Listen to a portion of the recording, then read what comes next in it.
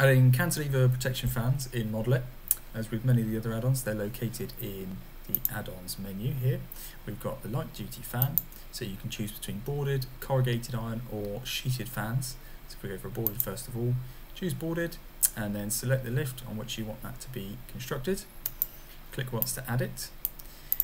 Double click on the white space to drop the tool. Once you've added your protection fan, you can hover over it to access some more um, dimensions. So we can choose the number of boards by typing uh, on the keyboard and press enter to adjust the number of boards on that fan. We can hover over it as well. We can tab down and we can also choose a start and an end point. So if it's not running the full length of that lift, covering a doorway or an entry, for example, we can start, say, four meters in, and we can finish, uh, say, I don't know, six meters in, and reduce that down uh, to cover a specific location.